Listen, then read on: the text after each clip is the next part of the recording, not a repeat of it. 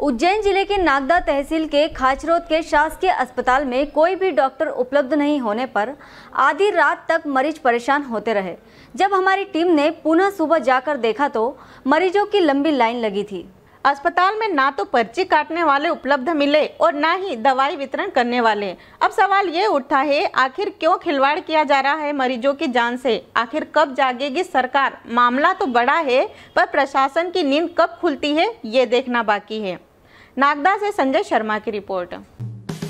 Hello friends आप देख रहे हैं हमारा channel S W twenty four news हमारे सारे वीडियो सबसे पहले देखने के लिए आप हमारे चैनल को सब्सक्राइब करें और पास में लगे बेल आइकोन को दबाना बिल्कुल भी ना भूलें।